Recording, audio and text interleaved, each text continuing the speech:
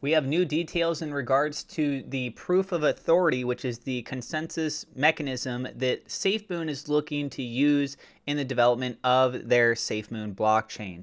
This is an article from the education side of SafeMoon's website. I'll have a link to this article down in the description below. I am not a financial advisor. This is not financial advice. Everything I'm sharing is my own opinion, it's my own research. I highly encourage you guys to go do your own research. And with that being said, let's go ahead and dive on into the news. What is proof of authority? In a recent update, CEO John Karony discussed the consensus mechanics that will be used in the operation of the SafeMoon blockchain. He shared this information in a captain's log. Check it out below. I already reviewed this video in a previous video. You guys can check that out if you'd like to.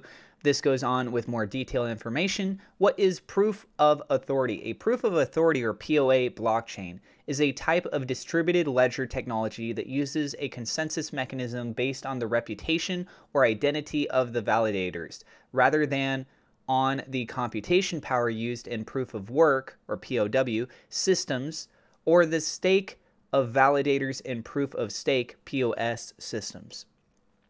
In a POA blockchain, a group of pre selected and trusted individuals known as authorities are responsible for validating transactions and creating new blocks. These authorities are usually chosen based on their reputation, expertise, or stake in the network, and they are required to identify themselves using a digital certificate or other forms of verification. One of the main advantages of POA systems is their high transaction speed and lower energy consumption compared to POW systems, as the validation process does not require significant computational resources. This makes POA suitable for scenarios where fast transaction processing and low energy consumption are important, such as in supply chain management or governance applications. Some real world examples of POA working including one, supply chain management. POA can be used to track the movement of goods and materials through the supply chain, providing a tamper proof record of the origin, quality, and location of the products. Two, identity verification. POA can be used to verify and authenticate identities, such as in the case of government issued identity documents or digital certificates. Three, governance. POA can be used to facilitate decision making and voting processes in decentralized organizations enabling transparent and secure governance. Energy trading. POA can be used to facilitate peer to peer energy trading and enable the integration of renewable energy sources into the grid. Five, insurance. POA can be used to automate and streamline the claims process in the insurance industry, enabling faster and more accurate payouts. Another advantage of POA systems is the ability to provide a high level of security and trust, as the authorities are known and accountable entities. This makes POA particularly suitable for private and consortium blockchains, where the network participants are trusted entities that have a shared interest in the network's operation. To mitigate some risks of POA systems, POA uses a dynamic authority model where the set of authorities can change over time based on certain rules or criteria. For example, the authorities may be rotated regularly to prevent any single entity from gaining too much power, or new authorities may be added to the network based on the reputation or stake of the applicants. Transactions per second with POA. Transaction speed, also known as transactions per second or TPS, is an important consideration for any blockchain system as it determines how quickly the network can process and confirm transactions.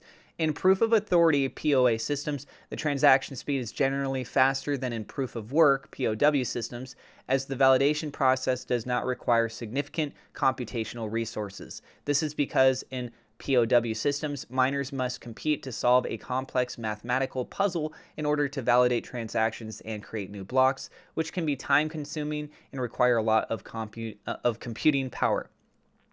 In contrast, in POA systems, the authorities are responsible for validating transactions and creating new blocks, and they do not need to perform any complex computations. However, the transaction speed of a POA system will depend on several factors, including the number and capabilities of the authorities, the size of the blocks, and the complexity of the transactions. Some POA systems may be able to process hundreds or thousands of transactions per second, while others may be limited to a lower number of transactions per second.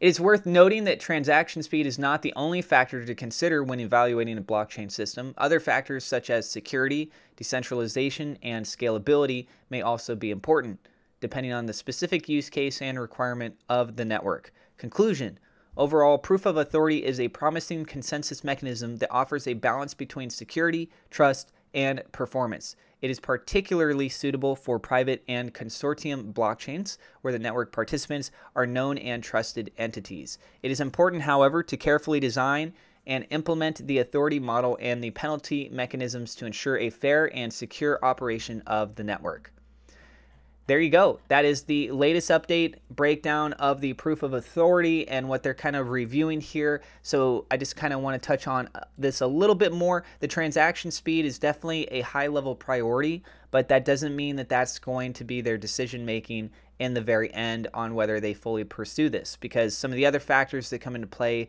was also, for example, that of security. So having the SafeMoon orbital shield, that is a big central focus on security and making sure that that can be integrated in to some degree or just making sure that the blockchain itself is as secure as possible. To me, that makes a lot of sense if that's put also towards the top of the list or even a little bit above the transaction speed. Because again, what is their branding? They're called SafeMoon, right? You want your stuff to be safe. The SafeMoon orbital shield is a security thing that's being released, that has been released. And with that, you think that, oh, I'm now more safe, right? So if you want to get involved in things and you want to feel safe, that's kind of the message that's really being conveyed from first impressions when you think of SafeMoon, when you look at SafeMoon, right? They have to prove themselves, they have to deliver these things. Let's see what happens next. But here is a little bit more information on the proof of authority system straight from the education side of SafeMoon, which again, I'll have a link to that article down in the description below. If you want to go check out other things that they have on their education pages, feel free to check out up at the top. They have a lot more information there. Thank you so much to my Patreon supporters. Double shout out thank you to WeLoveSafeMoon.com, Victor Vegas, SafeMoon Oz for being higher level patrons. Also, thank you to my YouTube members for your support. And if you are new to the channel, don't forget to hit subscribe, hit the thumbs up like button. God bless, and we will see you in the next episode.